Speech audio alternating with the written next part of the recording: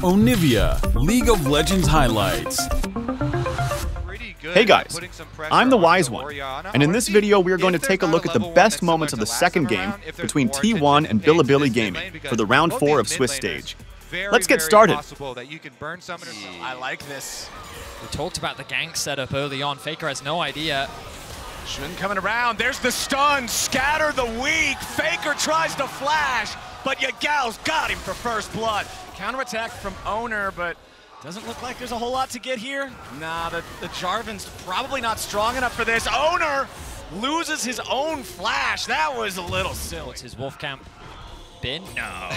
no. He's that, just saying don't. That Oh, he is! have- oh, Zeus went back in thinking he might find an outplay, and Bin just beats him on the head with a stick. Uh-oh, no flash Faker. Baker doesn't get hit by the scatter of the week, but it doesn't even matter. The unleashed power should be enough. Faker's just buying some time. Beautiful from BLG and Don't have it in. It's going to be a knock-on effect. Dominoes here will start to fall. Xun picks up the dragon as well. Screen creeping ever closer to that point. Both of those ultimates incredibly effective at setting up some plays as Ben wants to go in on Zeus, who knocks him back into the cask.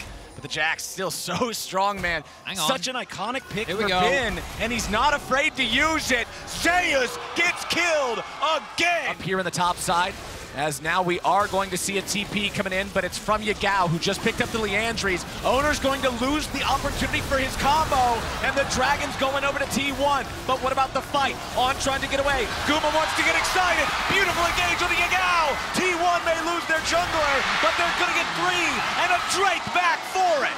It only takes a single fight. But the problem is still the top lane for them. If you're looking at what's going on up there, Bin could be a serious issue. And if you're BLG, that's something you know you can play around as the game goes forward. Oh, it's going to be caught by Shockwave. He could not live through it, and Faker's on the board.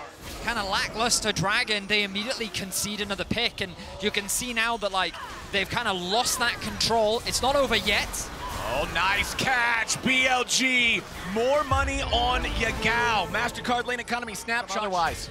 I see a lot of pings, uh, blue pings here up towards Faker. So they're sending uh, to where they are winning, the side lanes. Bin had an advantage and Yagao had an advantage. But their AD carry, they are they're outgunned. Well, can he Oh, do enough? Does the nice. wave clear? Yeah. Um, but they're Elk, and Elk is able to go even up the inventories, but it's at the in, cost of your tempo. To uh, the tier two. The Yeah. top tower still lives as well.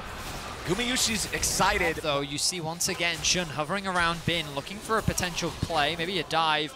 But no, it looks like with the wave clear from Zeus Flash. Oh, Oner just flashing in, looking for the damage here onto Elk.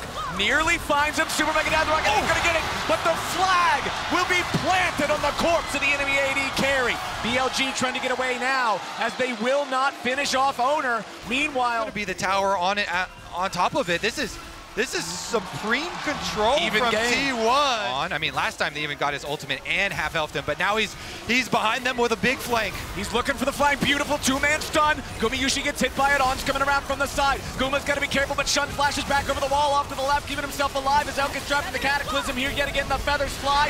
Oner tries to stay alive. A dunk from the Super Mega Death Rocket. A double kill of Gumayusi. He's excited, and he just can't fight it.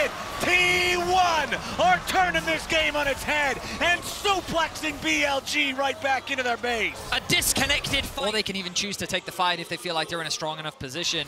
So I feel like that they actually have answers to mitigate this split push, and this is where I start to get concerned for BLG right now. they're yeah. Have you seen the mountain goats up on those tiny cliffs? Like it is crazy.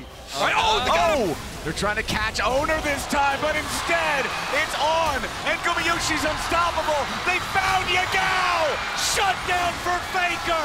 Enemy mid, dead! Enemy engaged! Zeus right for him.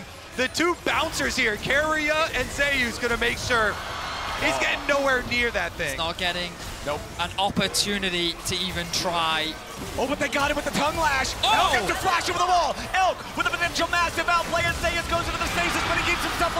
is dominating, and Ben will not find the stun here with a counter strike. They got the Baron. They got back into mid. able to stay safe. Yes, the resounding answer from all of T1 is yes. Faker with his crown shattered. Okay, Oner with the engage, forcing the flash out of Yagao. Beautiful flag and drag right back out over the wall. Bin gonna be the target now as On looks to try to provide some disruption. Xun back over with a ball breaker, but he ain't gonna find a whole lot. Re-engage from Oner. Stopwatch to stop them in their tracks. Oh my goodness, it's T1!